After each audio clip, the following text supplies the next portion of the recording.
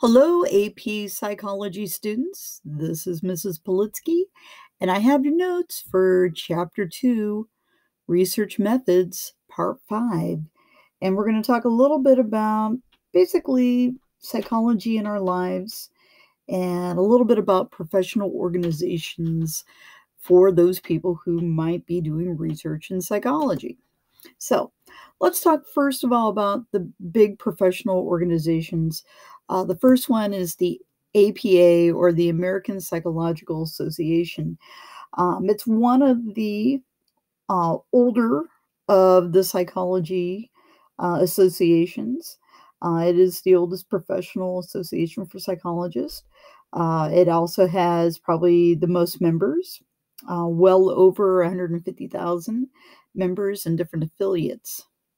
Aside from the APA, there's also the American Psychological Society, or the APS, uh, which was formed a handful of years ago. Uh, that's given a stronger voice to uh, academic and research psychologists. As far as these associations, there are a number of psychology journals and magazines that um, many of their members might be reading.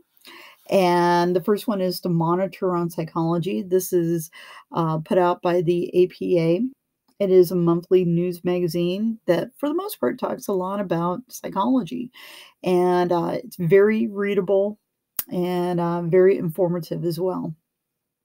The second is the, the current directions in psychological science. Um, for the most part, this is a semi monthly uh, APS journal that provides short reviews on trends and controversies in all areas of psychology. Then there's the American Psychologist. It is the flagship journal of the APA. Uh, Psychological Science, it's a premier journal of the APS.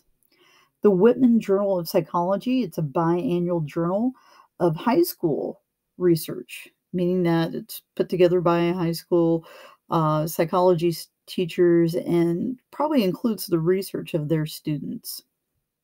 Discover, which is a, a pretty well known popular science periodical. Uh, it's written for the general public, but it does include some psychological research. Scientific American, again, another general interest science magazine, but sometimes does include um, articles that deal with psychology. Science News, a weekly magazine consisting consisting of brief, um, I guess you could call articles on breaking news in all areas of science, including psychology. And the Skeptical Inquirer. It's a take no prisoner pseudo-science bashing magazine uh, that's put out by the Committee on Scientific Investigations uh, of claims of the paranormal. Normal. So, in other words, it's another one to kind of bash that. Thank you very much.